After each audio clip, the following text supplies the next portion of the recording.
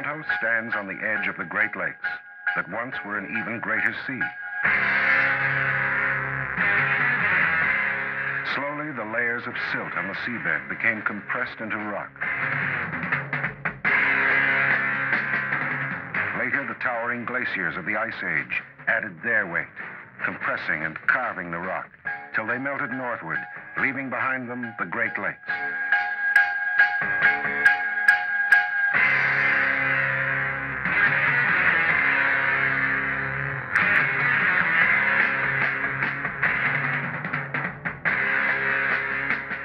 Glacier's retreat, some 10,000 years ago, the rock has been slowly rebounding from their weight. For rock is elastic. Something to keep in mind when building a tower higher than the loftiest of those ancient glaciers.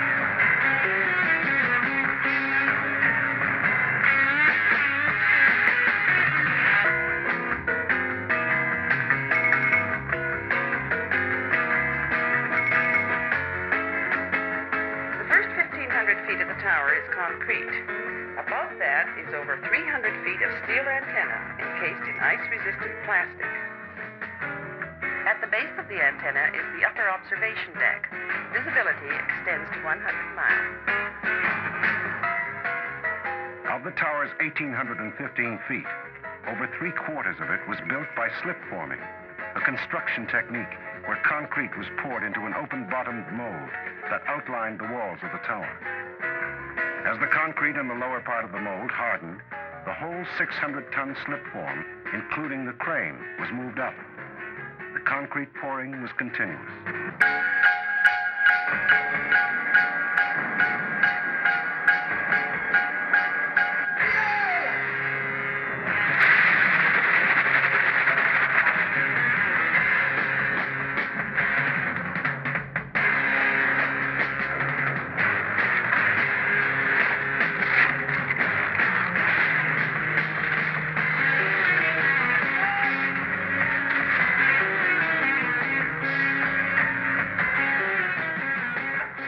60 of these self-climbing jacks lifted the slip form, the ends of the mold crept inward, leaving beneath the slip form the tapering walls of the tower.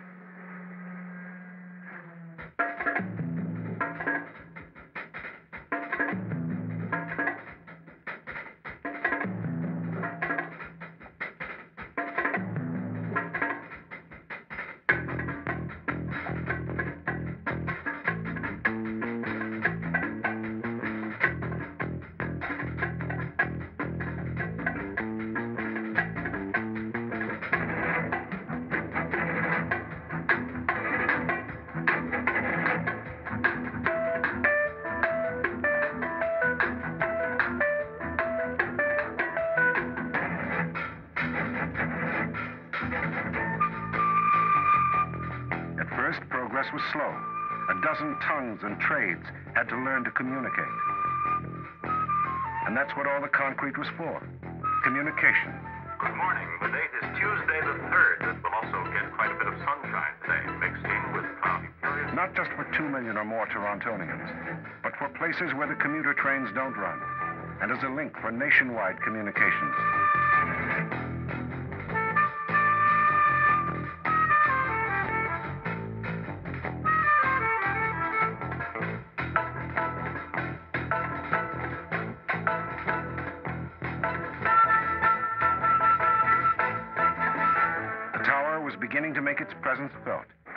In one direction.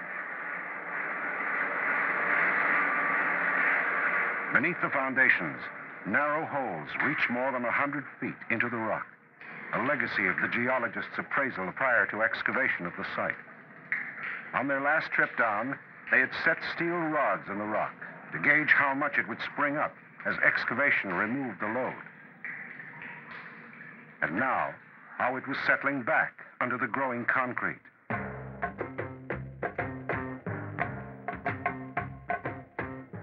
Twenty-two feet of it every 24 hours.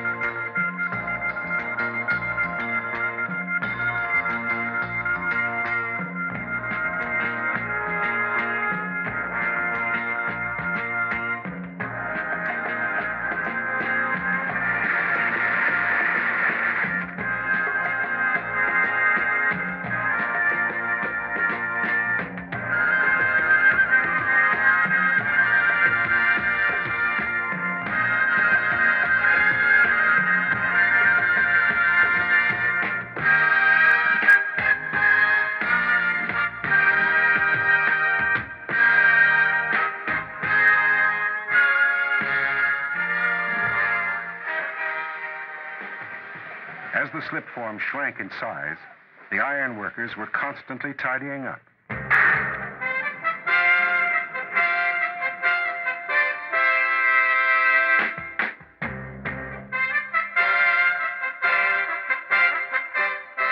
Trimming back the steel guides that had served their purpose in making the concept of the tower reality.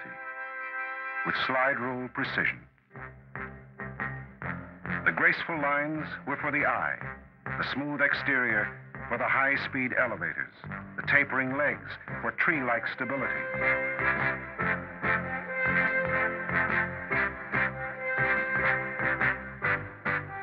Just one of the structural engineer's safeguards, along with foundations that flex like a foot, spreading the load on the rock when the tower leans, as all towers do, from expansion of the side warmed by the sun.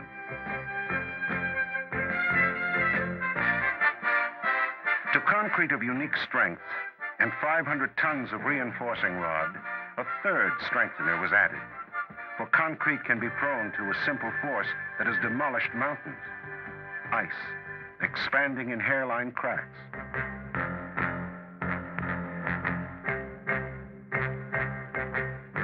By threading sets of steel cables from top to bottom of the concrete and placing them under permanent tension,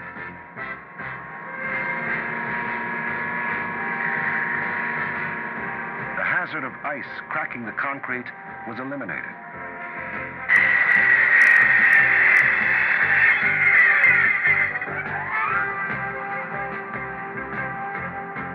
The greatest concern was for vibration from high winds.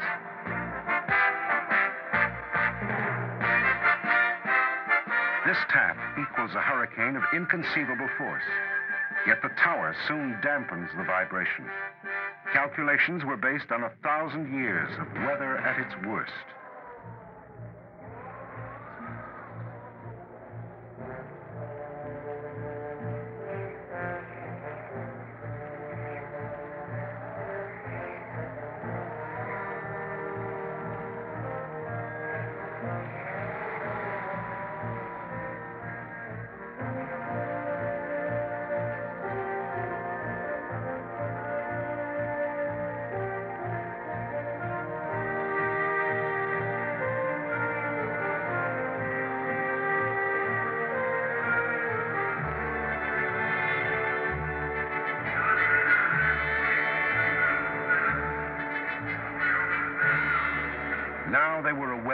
Team, making their own decisions, pushing the tower up, far from the help of those below.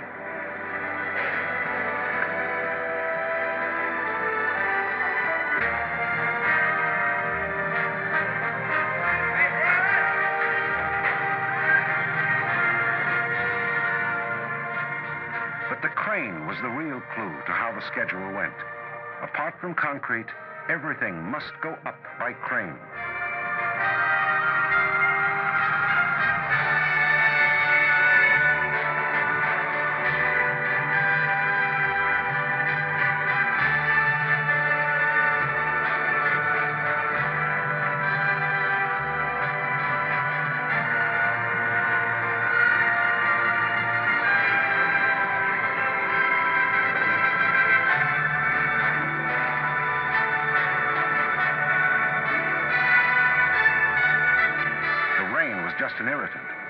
There were days when the crane hung motionless, riding out the storm.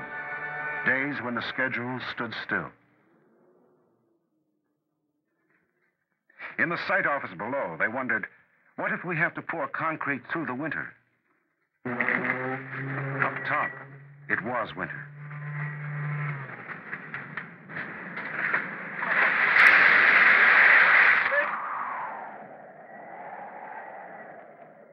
Tapering legs were complete, and with a simpler slip form, the rate quickened. We're past the Eiffel Tower. We're on top of the Empire State. Not far above us, New York's Trade Center. And then, only Moscow's Ostankino Tower to go. The tower's height is dictated solely by its communications role. But up top, they can be forgiven the exuberance of crossing off another rival.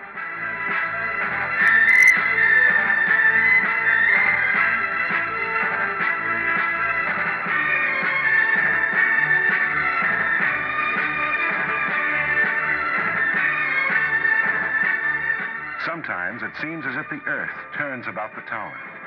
Actually, it's the slip form that's trying to twist like water down a drain. A natural phenomenon that taxes all their efforts to keep the tower straight.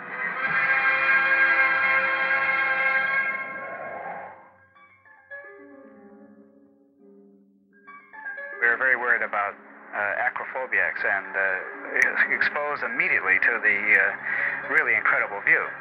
The most significant display is uh, the telescopes, so that it's an ideal opportunity to operate a very high-powered zoom lens and uh, achieve a sensation of being of flying through space.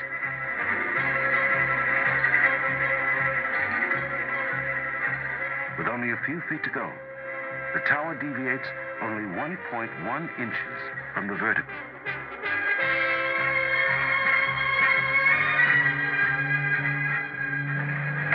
Tempers are a little short. This shift would like to top off the concrete, but a troublesome steel bracket or a photographer at your elbow doesn't help, to say nothing of the weather. Then, it was there. Somebody said, I guess we should open the champagne.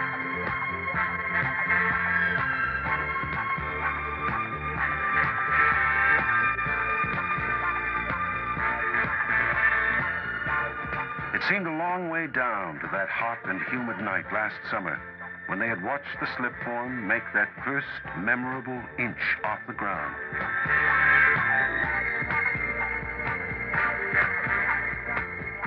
And now they faced a similar problem.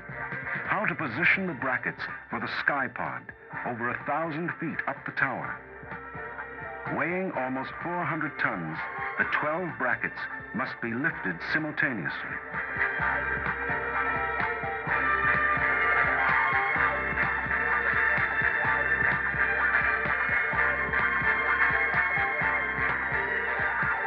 Up top, the slip form gave way to a crown of steel that would support 45 jacks.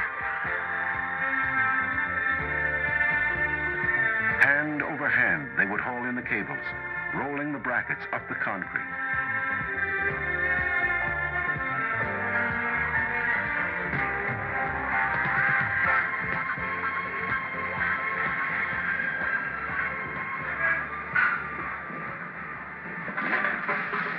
Everything was ready to go.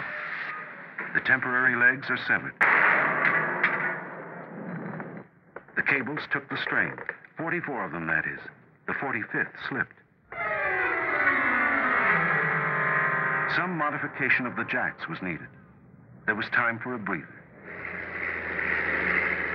Time to unearth a few more reminders that not so long ago, this had been Toronto's waterfront, shared by citizenry and commerce alike.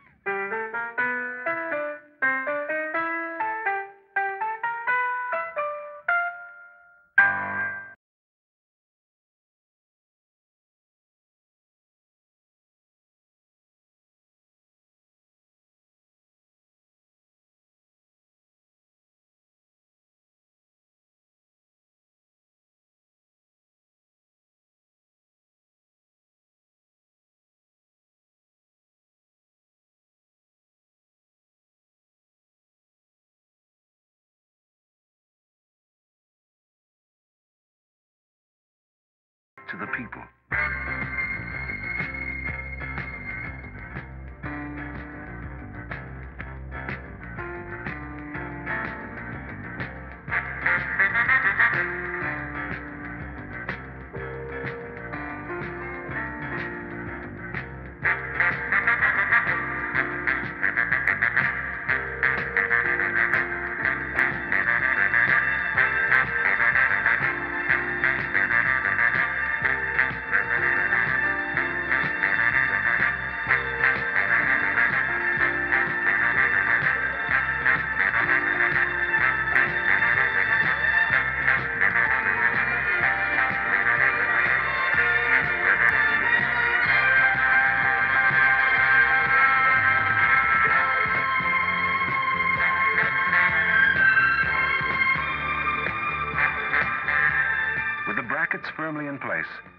Architect and engineer felt justified in visualizing the curving patterns of steel and glass that would be added in the coming year. Around the brackets, they would add a sophisticated inflated donut to protect microwave antennae from the elements.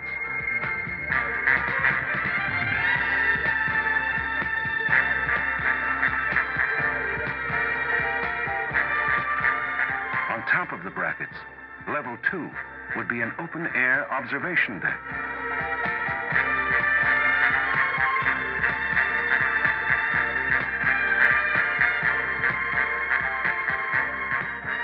On level three, the viewer will be enclosed from the elements, but not from the uplifting experience that comes with being part of the cloudscape.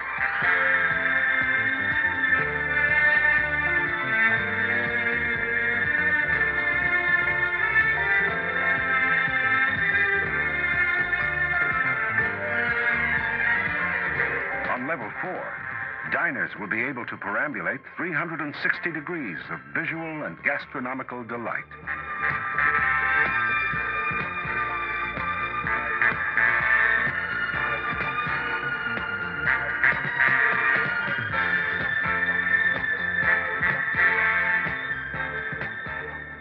Above, communications, where images and sounds from a dozen television and radio stations will be transmitted with newfound strength and clarity.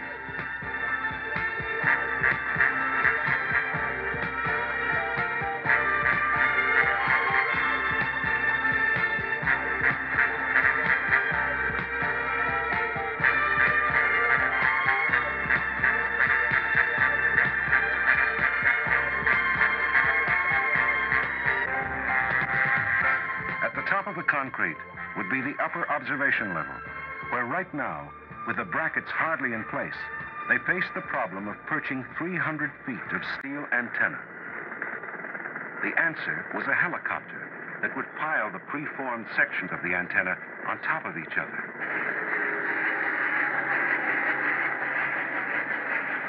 The Sky Crane was a veteran of many construction problems, except perhaps a Toronto winter.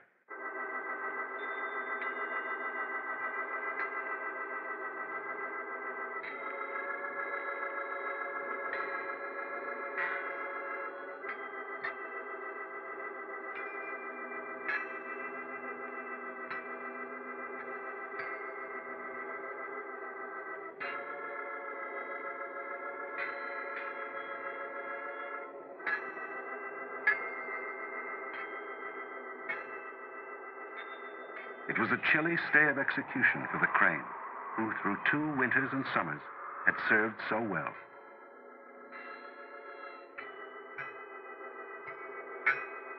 The trains went about their business, uninterrupted by the signal that would clear the tracks during lifts. Cameras were focused and refocused. All they needed was a glimpse of the sun.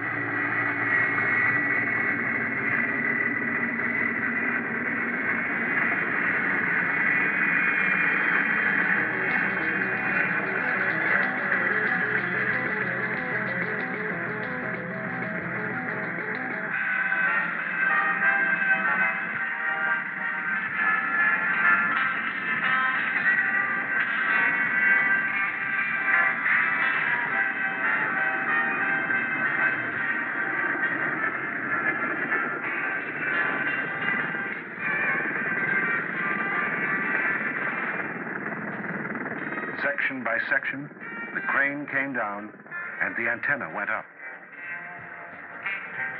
The downdraft, not that bad.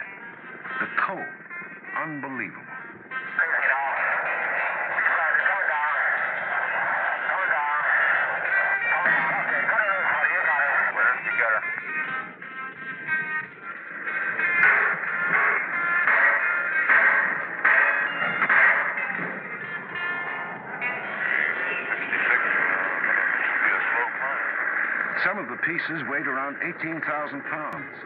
The job had been planned for a maximum of 16,000 pounds. The thick, cold air allowed them to lift the additional weight.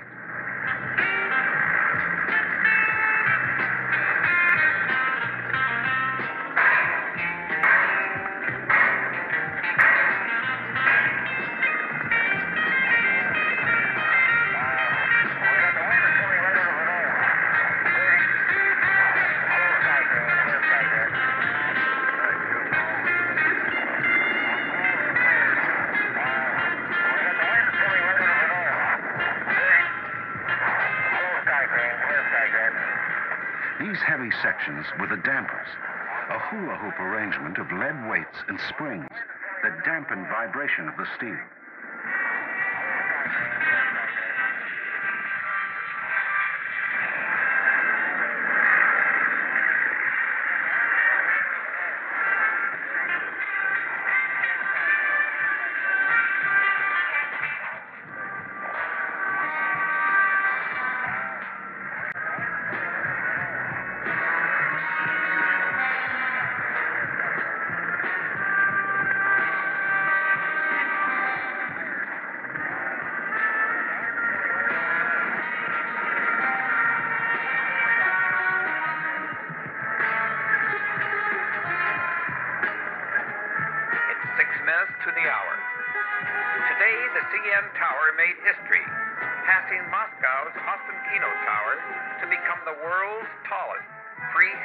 Structure.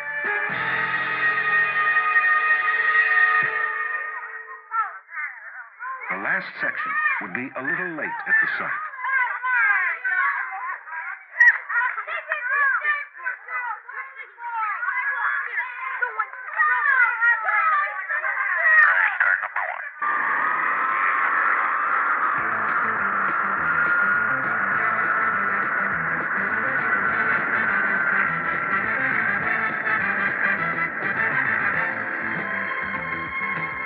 This last section was the longest section, over 30 feet of it.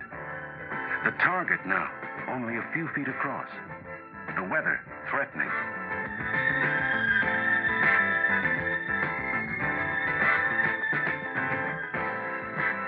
And to the top, it carried a thousand indelible reminders for those who had built the tower of who they built it for.